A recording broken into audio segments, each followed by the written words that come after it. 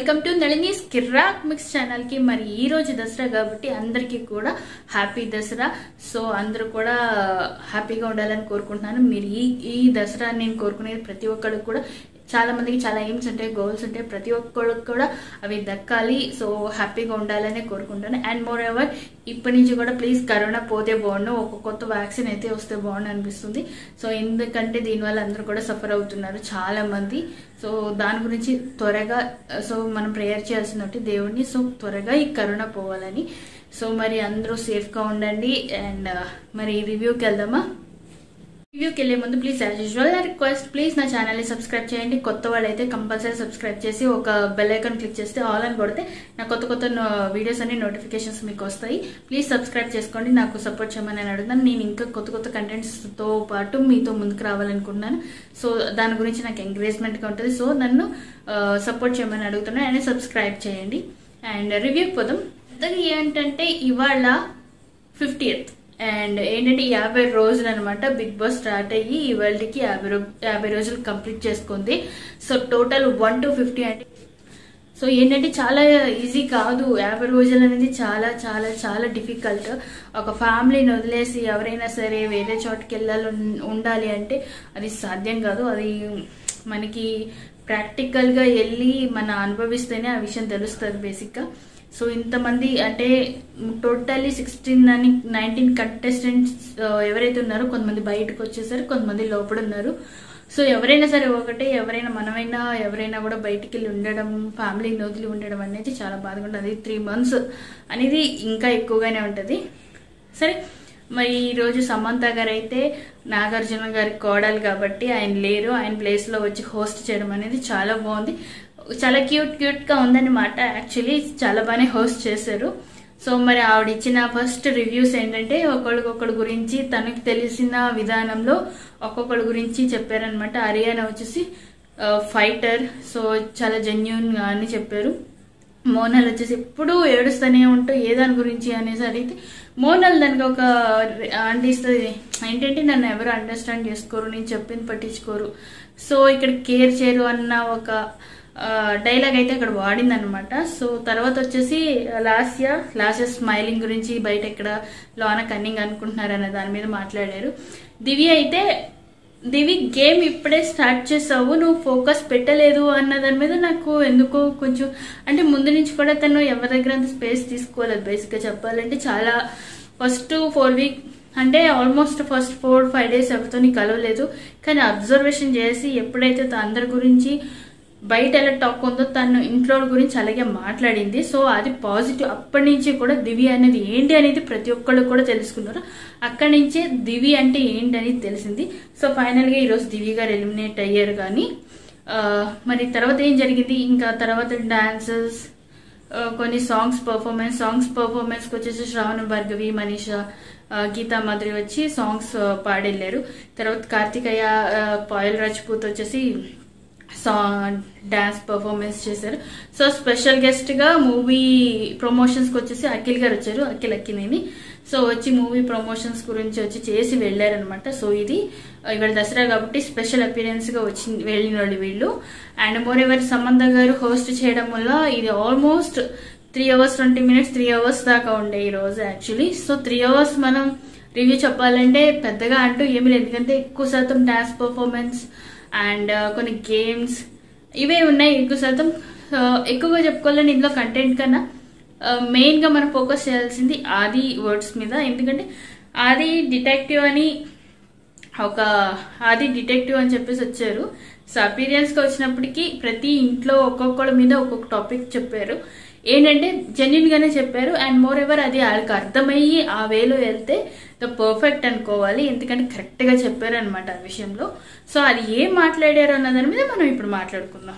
First master గురించి hyper అది నువ్వు ఒక అపరిచితుడు అయ్యా అని చెప్పండి. నిజంగానే ఎందుకంటే ఏ టైంలో ఎట్లా ఉంటాడో తెలియదు ఒక్కొక్కరు లాగ్ ల్యాగ్ చేస్తాడు. ఏదన్నా అంటే దాన్ని తోముతానే కూర్చుంటాడు. బాగా తోముతాడు అనమాట ప్రతిదీ ఎందుకంటే ఎవరైనా ఆ వర్డ్ కానీ అక్కడ సిచ్యువేషన్ బట్టి ఏమన్నా మా మాట్లాడారంటే తనకి ఇష్టం కాకపోతే దాన్ని ల్యాక్ చేసి ఇంకా మొత్తానికి ఏంటంటే వాళ్ళ మీద వర్డ్స్ అనేది అలా బయట అంటే తనకు తెలుగు రాక వర్డ్స్ తెలుసా యూజ్ చేస్తారో లేదా ఇష్టం లేకపోతే అట్లానే మాట్లాడాలని బయట ఎట్లా మాట్లాడతారో అట్లానే మాట్లాడతారో తెలియదు కానీ కానీ కొన్ని టైమ్స్ అది ఎవరికైనా కరెక్ట్ కాదనిపిస్తుంది. బేసిక్గా ఏంటంటే నువ్వు కరెక్ట్ కాదు నువ్వు కెమెరాకి డ్రామాలు చేస్తున్నావు నీకు ఇది కావాలని చేస్తున్నావు నువ్వు కరెక్ట్ కాదు.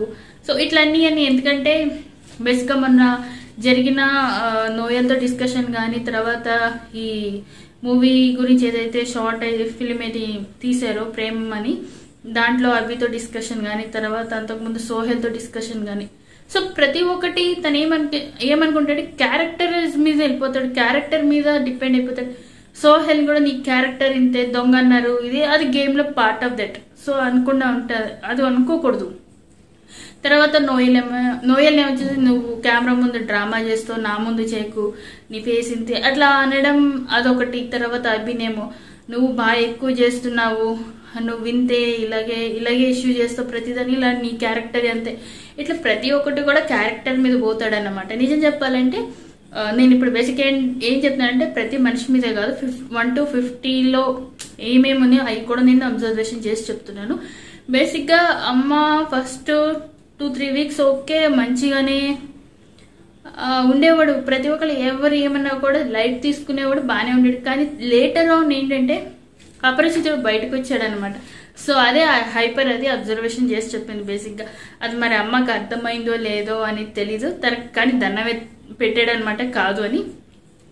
కానీ బేసిక్గా చూసిన వాళ్ళకే తెలుస్తుంది. తను ఎందుకంటే ట్వంటీ ఫోర్ అవర్స్ మనం చూడం one and half hour two hours కన్నా ఎక్కువ చూడం మనం. కానీ మనం చూసినంతలో ఏంటంటే మనకు అబ్జర్వేషన్ ఇది. తనకు నచ్చకపోతే మనకి దాన్ని ల్యాక్ చేసి చంపుతాడు. ఇష్టమైంది అనే ఇష్టమైనా కూడా తన ఓపెన్ అవ్వడు చాలాసార్లు. తనకు కావలసిన వాళ్ళ దగ్గర తప్ప. తర్వాత ఏమైపోతుంది అంటే అమ్మగారు ఆ week five days five days ఏమైతే ఉంటుందో ఎవరితోనే ఇష్యూ అయినా ఏదైనా జోక్ అయినా కామెంట్ అయినా ఏదైనా అయినప్పుడు ఆడేటప్పుడు ఆడతారు మంచిగానే అనిపిస్తారు. ఎప్పుడైతే ఎవరితోన్నా ఇష్యూ వచ్చినప్పుడు అది ఈ ఈ- ఈ పీక్స్ లోంచి పై పీక్స్లోకి వెళ్ళిపోతుంది అనమాట అంత రెగడ చేస్తాడు. అది అవసరం లేకుండా కూర్చోబెట్టుకుని మాట్లాడడమో లేకపోతే మెల్లంగా మాట్లాడడమో ఆపోజిట్ మనిషికి హర్ట్ అవ్వకుండా ఉంటే బాగుంటుంది. మేబీ దానివల్లే కూడా బయట చాలా మటుకి మాస్టర్కి నెగిటివ్ అనేది ఉంది. ఇంతకుముందు ఫస్ట్ స్టార్టింగ్లో చాలా పాజిటివ్ ఉండే. లేటర్ ఆన్ తను ఎప్పుడైతే ఇష్యూస్ బాగా క్రియేట్ చేసుకుంటున్నాడో నోరు జారడం కానీ ఏదైనా సరే తనకి అక్కడ నెగిటివిటీ అనేది వస్తుంది. సో నాకు సార్ వచ్చేటప్పటికి ఏంటంటే ఆ వీకెండ్ అప్పటికోసం ఓకే సార్ అది సార్ ఇది సార్ ఆ పాజిటివ్ మైండ్ నాకు ఉంది అనేది మట్టికి చూపించుకుంటాడు తప్ప అతనికి అది లేదని నేను అనుకుంటున్నాను. సో నెక్స్ట్ వచ్చేసి సోహెల్. సోహెల్ సడన్గా లాస్ట్ టూ త్రీ వీక్స్ నాకు సార్ ఎప్పటి నుంచి చెప్పారో అప్పటి నుంచి తనలో మార్పు వచ్చింది. బేసిక్గా ఎవరితోని దెబ్బలాడట్లేదు హైపర్ అవ్వట్లేదు తను కంట్రోల్ చేసుకుంటున్నాడు కోపాన్ని సో హైపర్ అది ఏం చెప్పాడంటే శంకరాభరణం అంతలా చూసినట్టుంది నేను చూస్తుంటే ఒక్కసారిగా కోపం కంట్రోల్ చేసుకోవడం అది అని అంటుంటే ఒక్కొక్కసారి నీకు అనిపిస్తుంది కదా చెప్పేయాలి పది నిమిషాలకు ఒకసారి అన్నది అనేటప్పటికీ అ- అనుకున్ సోహెల్ అంటాడు. సో అక్కడ హైపర్ అది ఏం చెప్తాడంటే బేసిక్గా నువ్వు కంట్రోల్ చేసుకోవద్దు నీ వేలో నువ్వు ఉండడం నేర్చుకో. ఇప్పుడు ఒకడేదో చెప్పారని కాదు పర్ఫెక్ట్ అనలైజెస్ ఏంటంటే ఇప్పుడు నువ్వు ఎలా ఉంటున్నావో దానికి మించి నువ్వు ఎలా చూపించుకోవాలో ఆ వే ఇంపార్టెంట్. అప్పుడే నువ్వు హౌస్లో ఇలా ఉండగలవు. ఆ రోజు త్రీ వీక్స్ బ్యాక్ నువ్వు ఏదైతే అంత అగ్రెసివ్గా ఉన్నావో అలా ఉండుంటే ఇంటి అక్కడి నుంచి బయటకు వచ్చి నేను నీ ఇంట్లో ఉండేవాడివి అని కరెక్ట్గా చెప్పాడు. ఎందుకంటే అదే అగ్రెసివ్తో ఉంటే కంపల్సరీ బయటకు వచ్చేవాడు నిజంగా. ఎందుకంటే అగ్రెసివ్లో తను ఏం మాట్లాడుతున్నాడు? ఆడపిల్లని లేదు మగపిల్లడు అని- అంటే లైక్ అబ్బాయి అమ్మాయి అని లేదు. నోటికి ఎంత వస్తే అంత వాగేసాడు అగ్రెసివ్లో కానీ టాలెంట్ అంటే గేమ్ ఆడడంలో ఉంది. ఫిజికల్లీ స్ట్రాంగ్గా ఓకే బట్ ఆ కోపం అనేది నరాలు తెంపుకునేదాకా అయితే అవసరం లేకుండే. సో అదే నాగార్జున గారు కానీ ఎవరైనా సరే చెప్తే కంట్రోల్ చేసుకున్నాడు. కానీ ఎవరో చెప్తే కంట్రోల్ చేసుకోవడం కాదు. గేమ్ గురించి తన గురించి తను ఆడాలి. తను కంట్రోల్ ఎందుకు చేసుకోవాలనేది తనకు ఒపీనియన్ ఉంటేనే ఇంకా టాప్ ఫైవ్లో ఉండగలడు సోహెల్. లేదబ్బా అనేసి నాకు అవ్వట్లేదు నిన్ను కట్టలు తెంచుకుంటా నాకు కోపం ఇట్లే నేను ఇట్లా ఉండే ఉంటాను అంటే హండ్రెడ్ పర్సెంట్ సోయల్ బయటకు వస్తాడు సో ఈ అదే హైపర్ అది చెప్పాడు. సో నీ గురించి ఆలోచించుకుని నువ్వు ఆడడం నేర్చుకో అనేసి ఇండైరెక్ట్గా సలహా ఇచ్చాడు అక్కడ. మెహబూబ్ గురించి మెహబూబ్ ఫిజికల్ టాస్క్ కాదప్ప ఈ గేమ్ వచ్చేసి మెంటల్ది సో మెంటల్గా నువ్వు ఆడుకోవాలి. మెంటాలిటీని పక్కన పెట్టేసి నువ్వు ఫిజికల్గా ఆడతానంటే ఎట్లా? ప్రతిదీ ఫిజికల్తో ఆడకూడదు కదా. మన లాస్ట్ టాస్క్లు ఏమైపోయింది? అందరినీ అది కొట్టేసావు ఇది కొట్టేసావు. సో లాస్ట్లో వచ్చేసి నాకేమీ తెలీదు అన్నట్టుగా ముద్దపప్పులో వచ్చేసి నాకేం తెలీదు అన్నట్టుగా ఉండిపోయావు. సో అక్కడ అదే ఏంటంటే అన్ని మిరపకాయలు నీకు పడినప్పుడు నువ్వు మార్కెట్లో ఉన్నావా? లేకపోతే బిగ్ బాస్ హౌస్లో ఉన్నావా? అర్థం కాలేదు. అదే మిరపకాయ కొట్లో ఉన్నావా? బిగ్ బాస్ హౌస్లో ఉన్నావా? అర్థం కాలేదు అనడం. ఇది ఇక్కడ ఏం జరిగిందంటే ఆ కోపం అనేది తగ్గించుకోవాలి. పేషెన్స్ అనేది ఈ గేమ్లో ఒకటి ఆడినప్పుడు పేషెన్స్ అన్నాడు. నాకు ఇప్పటి వరకు మెహబూబ్లో పేషెన్స్ అనేది ఎక్కడా కనబడలేదు. స్టార్టింగ్ టూ వీక్స్లో ఎక్కడ ఉండే కానీ థర్డ్ వీక్ ఓపెన్ అప్ అయ్యాడు. మాస్క్ అనేది తీసినట్టు అనిపించింది నాకు తర్వాత కానీ కోపం చాలా ఎక్కువ అనిపించింది. ఆ గ్రాఫ్ అనేది తగ్గిపోయింది తర్వాత కొంచెం. తర్వాత మళ్ళీ ఎప్పుడు అనేది అంటే లాస్ట్ టూ వీక్స్ నుంచి ఆ గ్రాఫ్ అనేది మళ్ళీ పెరుగుతుంది. సో సో తనకి తాను చూసుకొని గేమ్ ఆడితే బాగుండదు ఫిజికల్గా కాకుండా ఉంటే ఇంకా బాగుంటది. ఇంకొకరి మీద ఆధారపడకుండా ఉంటే ఇంకా బాగుంటది మెహబూబ్ది. తర్వాత అఖిల్కి ఏం చెప్పాడంటే ఒకటే చెప్పాడు. నువ్వు మోనల్ ఒక షాట్ ఉంటే ఎడిటర్స్కి ఎడిట్ తగ్గించడం తక్కువ అవుతుంది. సో అందరితోని కలిసి ఉంటే అందరి గురించి నీకు నీ గురించి అందరికీ తెలుస్తుంది. సో ఆ పని చేస్తే చాలా బాగుంటది ఇండైరెక్ట్గా చెప్పాడు. అవును మరి ఎక్కువ శాతం నాకు తెలిసి మో అఖిల్ వచ్చేసి మోనల్ ప్లస్ లేకపోతే మెహబూబ్ లేతే సోహెల్ తప్ప తను ఎవరితోని స్పెండ్ చేసేదంటూ అంతలా లేదు. అండ్ మోర్ ఎవరంటే కోపం తెచ్చుకుంటే అది ఒక పీక్స్ వెళ్ళిపోతుంది అనమాట అంటే అది నిజమా అబద్ధం అనేది తెలుసుకోకుండానే అక్కడ ఏం జరిగిందో అనలైజ్ చేసేసుకోకుండానే తను కోపం తెచ్చేసుకుంటాడు బేసిక్గా అలాంటి విషయాలు అది ఎవరనేది కూడా చూడు మోనల్లా లేకపోతే మెహబూబా లేకపోతే సోహెల్ అని చూడు కానీ తన గ్రాఫ్ అనేది బాగానే ఉంది కాబట్టి తను ఇంకా బాగా చేసుకుని అందరితోని మింగల్ అయ్యి ఇంకా బాగుంటుంది. ఎక్కువ శాతం అఖిల్ నామినేషన్లోకి రావడం కారణం కూడా ఏంటంటే ఎవరికి సరిగ్గా కనెక్టివిటీ లేకపోవడమే. అక్కడ సోహెల్ మెహబూబ్ మోనాల్ తప్ప అక్కడ ఉన్న వాళ్ళకి ఎవరికి అఖిల్తో అంత కనెక్టివిటీ లేదు బేసిక్గా సో ఆ కనెక్టివిటీ తెచ్చుకోవాలంటే తను అందరితోని క్లోజ్ అవ్వాలని హైపర్ అది అక్కడ చెప్పిండు. తర్వాత మోనాల్ గురించి. మోనల్ గురించి ఏంటంటే మోనల్ని తర్వాత ఏ అంటే ఏంటి హర్యానా అందరూ ఉన్నారు సో నేను ఉన్నాను. అంటే అప్పుడు మోనల్ వచ్చి అది ఇంకో దానికి వెళ్ళిపోతే అన్న టాపిక్ పక్కన పెడితే బేసిక్గా హర్యానాకి కెప్టెన్సీ టాస్క్లో సపోర్ట్ చేసేటప్పుడు తను చెప్పిన రీజన్ అది చాలా అర్థమైంది అర్థమైంది అని ఆది అనడం చాలా జోక్గా అనిపించింది. నాకు బికాస్ ఆఫ్ అర్థమైపోయింది. ఏంటంటే నీకేదో పిల్లలు గోళి ఆట ఆడుకున్నప్పుడు అటు నుంచి అటు ఇటు నుంచి అటు షిఫ్ట్ అవుతానే ఉన్నావు. ఒక స్టాండ్ అయితే తీసుకోలేదు నాకు అలా అనిపించలేదు. అనేసి అది తనకు మనం ఏదైతే బయట ఒపీనియన్ మాట్లాడుకున్నాం అదే అనిపించింది అనమాట సో అదే అది కూడా అక్కడే మాట్లాడాడు. ఆ అభి వచ్చేసి ఆ అభికి ఒక అడిగాడు. మొదట్లో మేము ముగ్గురు ఉంటుంటే ప్రేమదేశం మూవీ గుర్తుండే అఖిల్ మోనల్ నువ్వు అభిని. సో తర్వాత లేటర్ వచ్చేసి నువ్వు మోనల్తో మాట్లాడడం మానేసావు. తర్వాత ఒక ప్రేమదేశం మూవీని నువ్వే షూట్ చేస్తున్నట్టు అనిపించింది అంటే డైరెక్ట్ చేస్తుంటే అనిపించింది. నీకు అంత బాధ వేసిందా? లైక్ ఏంటి అంటే అప్పుడు అభి అన్నాడు తర్వాత అవును భయ్య చాలా కష్టం అనిపించింది. నాకే టాస్క్ అనిపించింది. ప్రేమదేశం మూవీ నేనే చేయాలి అల్టిమేట్ ఉండే.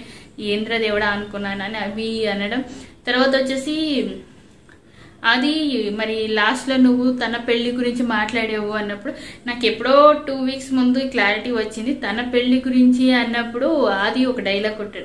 తన పెళ్ళి గురించి అంటే తను పెళ్ళి తను పెళ్ళికి పిలుస్తుంది తప్ప మీ గురించి మిమ్మల్ని పిలుస్తుందని కానీ మీరు ఉంటారని కానీ కా- అక్కడ ఇండైరెక్ట్గా కాదు. తోనే ఎక్కువ కనబడడం మూల అక్కడ ఎవరితో ఉంటుంది? అసలు క్లారిఫై ఏం ఎట్లా వస్తుంది?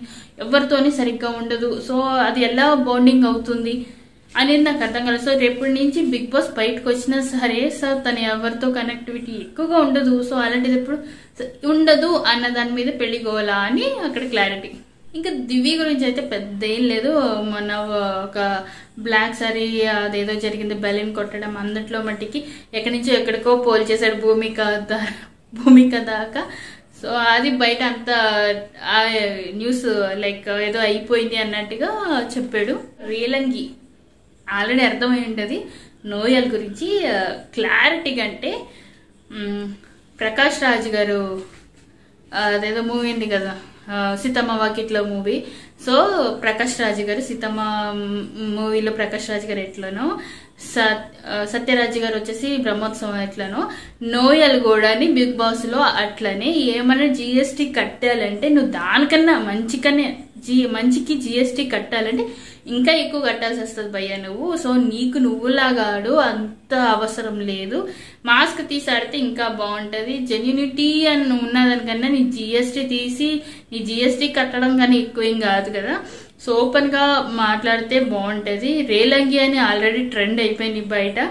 సో అంత అంత పనికిరాదు. అంత ఏంటి గు- గుర్తింపించాలి అది ఏంటి అన్న దాని మీద కాన్సెప్ట్ అనమాట అది అక్కడ. సో అంత మంచితనం పనికిరాదు. జిఎస్టీ కట్టాలంటే నీకడ తోపు ఎవరు లేరు అన్నట్టుగా మాట్లాడారు. సో సమంత కూడా అక్కడ చిన్న పంచ్ అయితే వేశారు. సో లైక్ గురూజీ అవుతాడు స్వామీజీ అనేసి. ఇంకా హర్యానా గురించి ఆర్జీబీ మీదే అక్కడ బయట మ్, సెన్సేషనల్ న్యూస్ అయిపోయింది. సో ఇంటర్వ్యూ తీసుకున్నప్పుడు ఇంట్లో నీకు అవికి ఎవరు పడలేదా? అని అడిగినప్పుడు రోజుకి ఒకలా ఉంటున్నాడు నాకేం తెలియదు అన్నప్పుడు నీకు తెలియకపోవడం ఏంటమ్మా? నీ గురించి అందరికి అదే నీ నీకు నీకు అందరి గురించి తెలుసు కదా అలా ఎలాగుంటది? అన్న ఒక కామెంట్ అయితే పాస్ చేశాడు. హారిక హారిక ఎప్పుడు ఏంటి? హారిక ఎప్పుడు బిగ్ బాస్ని ఎమోషనల్గా బ్లాక్ మెయిల్ చేస్తున్నావా ఏంటి? ప్రతి టాస్క్ అయిన తర్వాత వెళ్ళి బిగ్ బాస్ నువ్వు ఇట్లా చేశారు నేను కీ ఇవ్వలేదు అది ఇవ్వలేదు ఇట్లా ఆడారు నేను వెళ్ళాలనుకోలేదు ఎందుకు ఇట్లా బ్లాక్ మెయిల్ చేస్తున్నావు నువ్వు?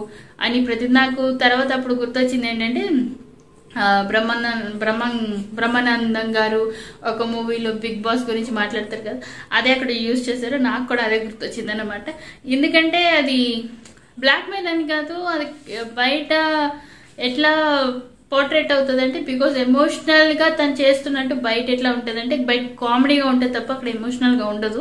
సో ప్రతిసారి ఇదే కంప్లైంట్ ఒక్కసారి కదా చాలా సార్లు అబ్జర్వ్ చేశారంటే ఎక్కువ శాతం హారిక వెళ్ళి కెమెరా ముందు ఎమోషనల్గా బ్లాక్ మెయిల్ గానే మాట్లాడడం చూసాం. అందుకే అది అది మానుకుంటే బాగుంటది అని. తర్వాత లాస్ట్ లాస్ట్ గురించి ఏంటంటే నీ గురించి పెద్దగా చెప్పాల్సింది ఏం లేదమ్మా. నీ నువ్వే పని చేసుకుంటే నువ్వే నవ్వుతావు నీ మీద. సో నువ్వు బయట ఎలా ఉన్నావో లోన్ కూడా అదే పంచి నీ మీద వేసుకుని నువ్వే నవ్వుతున్నావు. సో అనేసి చెప్పారు. తర్వాత ఇంకెవరు? అవినాష్. అవినాష్ వచ్చేసి ఎంతైనా వాళ్ళు వాళ్ళు ఒకటే ఉంటారు కాబట్టి సో నువ్వు పులిహోర ఎక్కువ కలుపుతున్నారా ఇంట్లో కిచెన్లో నువ్వు కనబడవు కానీ కిచెన్లో ఉన్నవాడు కానీ నువ్వు బయట హాల్లో ఉన్నా కూడా ఎక్కడ ఉన్నా కూడా పులిహోర నువ్వే ఎక్కువ కలుపుతున్నావు. మనకి అది అవసరం లేదురా. మనం ఎంత పులిహోర కలిపినా అక్కడ ఏది వర్కౌట్ అవ్వదు అని ఇండైరెక్ట్గా అవినాష్కి ఇచ్చింటే నీ గేమ్ నువ్వు వాడు. అలాంటి అట్లకి పో మాకు అని నచ్చ చెప్పాడు. తర్వాత ఫైనల్గా దివి ఎలిమినేషన్ అయింది. దివి ఎలిమినేషన్ తర్వాత నాకు ఇక్కడ ఏమనిపించింది అంటే ప్రతి ఒక్కళ్ళు ఎలిమినేట్ అయిన తర్వాత స్టేజ్ మీదకి వచ్చిన తర్వాత వాళ్ళ ఒపీనియన్ షేర్ చేసుకోవడం వాళ్ళ గురించి ఏమనుకోవడం అనేది ప్రతి ఒక్కరికి వెళ్ళిన వాళ్ళు ప్రతి ఒక్కరికి ఇచ్చారు. సో అలాగే దివికి కూడా ఇస్తే బాగుండు అనిపించింది. తన ఒపీనియన్ ఏంటనేది ప్రతి ఒక్కరికి చెప్పాల్సి ఉండింది. కానీ నాకు తనకు ఛాన్స్ ఇవ్వలేదు. ఏదో పెద్ద హంగామా చేసి ఆ డాన్స్లు ఈ సాంగ్స్ అని పెట్టారు. ఒక్క ఫిఫ్టీన్ మినిట్స్ దివికి కేటాయించి ఉంటే బాగుండనిపించింది. ఎందుకంటే ప్రతి ఒక్కళ్ళ ఒపీనియన్ తను క్లారిటీగా చెప్తుంది. మేబీ దా లేదా క్లారిటీగా చెప్తుంది ఒక క్లారిటీ వచ్చేస్తుంది. సో కన్ఫ్యూషన్లోనే ఉండాలి అని బిగ్ బాస్ కావాలని దివిని మాట్లాడించలేదా అని నాకు అనిపించింది బేసిక్ ఎందుకంటే తనకు ఒక క్లారిటీ అని ప్రతి మనిషి మీద తన క్లారిటీ ఉంటుంది. ఫస్ట్ ఫోర్ డేస్ తర్వాత అందరి గురించి మాట్లాడింది. సో అది పర్ఫెక్ట్ అనలైజ్ అనమాట బయట ఎట్లా జెన్యున్గా ఉందో ఎలా ఉందో టాక్ తను అట్లనే మాట్లాడింది లోపల. అది జెన్యున్ గానే ఉంది. సో అదే అనలైజ్ తను క్లియర్గా చెప్తే అందరి గురించి అది బయట జనాలకి ఏంటంటే కన్ఫ్యూజన్ అంటే కన్ఫ్యూజన్ ఇప్పుడు ఎట్లా అంటే వీళ్ళు కరెక్ట్ ఈ ఒపీనియన్ ఇట్లా ఉంటది అన్న దాని మీద బేసిక్గా చెప్పాలంటే బయట ఒపీనియన్స్ అనేది వేరే ఉంటాయి. అంటే ఇప్పుడు ఒక విషయంలో ఒకళ్ళు కరెక్ట్ అనిపిస్తే ఆ వాళ్ళు ఇంకో విషయంలో రాంగ్ అనిపిస్తారు. బేసిక్గా ఎందుకు అనేది ఎందుకంటే మనం ట్వంటీ ఫోర్ అవర్స్ చూడట్లేదు so one and half two అవర్స్లో మనకి అర్థమైంది అంతే. దివి కొంచెం క్లారిఫికేషన్ మంచిగా ఇస్తుంది. అండ్ ఒక ఒక క్లారిఫికేషన్ అట్లీస్ట్ ఒక సిక్స్టీ పర్సెంట్ రావచ్చు. దాని గురించి దీన్ని క్లారిఫై ఇస్తే కొంచెం వెళ్ళిపోతుంది. సో కన్ఫ్యూజన్ పెట్టాలి అనేసి ఇంకా అట్లనే మూవ్ చేస్తున్నారా దివికి ఛాన్స్ ఇవ్వకుండా అని నాకు కొంచెం బాధ అనిపించింది. సో ద సెల్ఫ్ నామినేట్ అంటే చూస్తున్నారంటే ముందు కూడా చాలా మంది సెల్ఫ్ నామినేట్ చేసుకునే బయటకు వెళ్ళిన వాళ్ళు ఉన్నారు. తర్వాత ఇప్పుడు దివి. దివి చేసుకుంది అంటే వాళ్ళిద్దరి మధ్యన బౌండింగ్ లేక లాస్య అండ్ దివి మీద ఆ బౌండింగ్ లేక్ ఏమైపోయిందంటే తను నామినేట్ చేసుకోవాల్సి వచ్చింది. సో క్లియర్ అయిపోతుంది అనుకుని వెళ్ళదు అని కాన్ఫిడెంట్ ఉండే బట్ బయటకు వచ్చింది. తర్వాత కాకపోతే కూర్చుని లాస్య కూడా కూర్చో బేసిక్గా లాస్య కూడా ఏంటంటే నామినేషన్లో కాకుండా కూర్చుని మాట్లాడుకుని ఉంటే అట్లీస్ట్ తనన్నా ఇనిషియేటివ్ తీసుకుని బాగుండు అనిపించింది నాకు. బట్ ఇద్దరు అది వర్కౌట్ చేయలేదు. ఆ వర్క్ కావడం కాలేదు కాబట్టి క్లియర్ కాలేదు ప్రతి ఒక్కటి. అందుకే నామినేషన్లోకి వచ్చింది. అలా నామినేషన్లోకి రావడంతో తిని బయటకు వచ్చింది అనమాట మరి బిగ్ బాంబ్ ఏంటంటే వన్ వీక్ త్రీ మీల్స్ కూడా ఒకళ్ళు కుక్ చేయాలన్నమాట. దానికి అసిస్టెంట్ ఎవరినైనా తీసుకోవచ్చు అని చెప్పేసి లా లాసన్ సెలెక్ట్ చేస్తుంది. దివి బేసిక్గా కోపం మీద కాదు. ఎందుకంటే ఎవరు చేసినా అన్ని వేస్ట్ అవుతాయి ఎవరు సరిగ్గా చేయరు. వేస్ట్ అయిపోతే వెజిటేబుల్స్ పోతే అనే ఒక దాని మీద అంటే తన లాసకు బాగా తెలుసు కిచెన్ వే అనేసి. సో లాసకి ఇచ్చింది. లాసే ఎవరినైనా అసిస్టెంట్ ఉన్నప్పుడు లాసే వచ్చేసి అభిని అడిగింది. అభి చాలా స్లో చేస్తాడు వద్దు అనడంతో సమంతో పంచడై పంచడైలా కొట్టారు? నీకెందుగా మా అంటే వెళ్ళిపోయేదని నీకు ఎందుకు అనేసి. సో అది రివ్యూ. ఉండడం అంటే కొంచెం ఉంది కానీ అంత అవసరం లేదు. బేసిక్గా ఇది ఇంపార్టెంట్. సో ఇంతకన్నా ఎక్కువ అంటే ఏమీ లేదు. మరి చెప్పింది చెప్పింది మీకు ఈ వీడియో నచ్చినట్టయితే ప్లీజ్ నా ఛానల్ని సబ్స్క్రైబ్ చేసుకోండి. ఈ వీడియో మీకు నచ్చలేదంటే ఎందుకు నచ్చలేదు? ఏమైనా మిస్ అయిందా? ఏంటి అనే దాని మీద నా కామెంట్ బాక్స్లో కామెంట్ పెట్టండి. పక్కన బెల్ ఐకాన్ ఉంటుంది. క్లిక్ చేస్తే నా ఆల్ అని కొడితే నా నోటిఫికేషన్స్ అన్ని కొత్త వీడియోస్ మీకు వస్తాయి. మరి ప్లీజ్ నాకు సబ్స్క్రైబ్ చేయండి. నన్ను సపోర్ట్ చేయమని అడుగుతాను. ఇంకా మంచి మంచి వీడియోస్ ఇంకా ఫర్దర్గా చేంజ్ చేసుకోవడానికి ట్రై చేస్తాను నేను. And moreover thank you so much subscribers change చేసుకున్న వాళ్ళకి అలాగే నన్ను సపోర్ట్ చేసిన వాళ్ళకి చాలా థ్యాంక్స్ అండి. అండ్ హ్యాపీ uh, దసరా మళ్ళీని. మళ్ళీ రేపటి రివ్యూలో కలుద్దాం. నామినేషన్స్ ఇంకొకటి నేను నామినేషన్స్ గురించి కూడా ఒక వీడియో చేస్తాను. మేబీ ఈ వీక్ ఎవరు నామినేషన్స్లో ఉంటారు ఎవరి గురించి ఉంటారు అన్న కాకపోయినా ఎవరెవరు ఉండగలరు అని. అండ్ అదొక video. And moreover one two fifty days ఏం జరిగింది ఎవరు వచ్చారు ఎవరు పోయారు ఇలాంటి అన్నిటి మీద ఒక వీడియో చేస్తాను నేను. సో చూస్తారని అని అనుకుంటున్నాను ప్లీజ్ అండ్ ఓకే మరి రేపటి రివ్యూలో కలుద్దాం అంతవరకు. బాయ్